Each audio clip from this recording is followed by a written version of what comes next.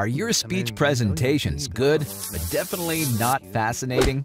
No matter what your professional field is, if you want to advance in your career, you need to persuade people that you are the best of the best.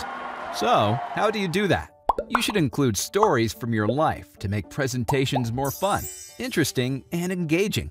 I will share with you three key secrets how to make amazing speech presentations.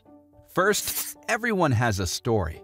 Think about your past experiences, your mm-hmm. wins and failures, and remodel them into an interesting story, where at the end, you are the hero. People will immediately connect when you show them that you're honest and authentic. Second, think about who is your audience. Mm-hmm. If you understand their needs, you're on the right track.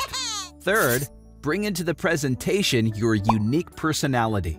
Don't impersonate anyone else. Find your own way. With experiences, you will develop your unique style that you are comfortable with. Want to know more? Contact us.